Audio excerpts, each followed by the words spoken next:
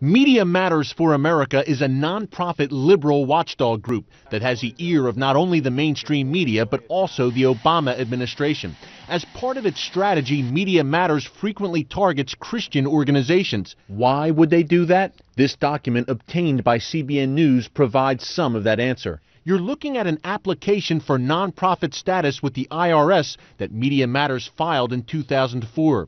In the section asking for the description of its mission, they explain Media Matters for America believes that news reporting and analysis by the American media has become biased. It is common for news and commentary by the press to present viewpoints that tend to overly promote a conservative Christian influenced ideology. The Daily Caller's Vince Coglianese is one reporter that's investigated the group's attacks on Christian organizations. Media Matters in its application to the IRS outright in its very first paragraphs declares it's going to be an anti-Christian organization. Interestingly, though, in their public mission statement, Media Matters makes no mention of the fact that it intends to target the Christian ideology. Media Matters did not respond to CBN's request for comment on this story or the document.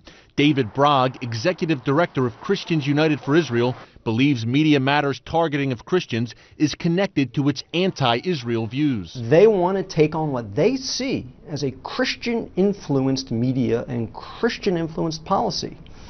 If you're going to take on Christian-influenced policy, no better place to start than with the issue of Israel and with attacking U.S. support for Israel. Until recently, the man at the center of Media Matters' anti Israel campaigns was M.J. Rosenberg. He served as the group's senior foreign policy fellow before stepping aside amid controversy over his anti Israel writings, including heated criticism from well known Democrats like attorney Alan Dershowitz. Rosenberg routinely uses the label Israel Firsters, implying that American supporters put the interest of Israel above the United States. It's a charge commonly made by neo Nazis and anti Semitic groups. We don't see any condemnation of his hate language coming from Media Matters and we have yet to notice any shift in editorial policy. So for all we know, uh, they've said goodbye to the man but not the message. And I call upon all my friends on the left who love Israel, who hate anti-Semitism, speak up. Your silence is deafening.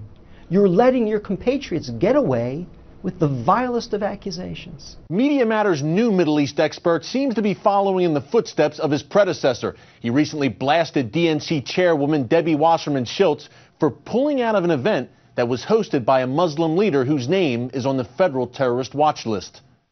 Erick Stakelbeck, CBN News, Washington.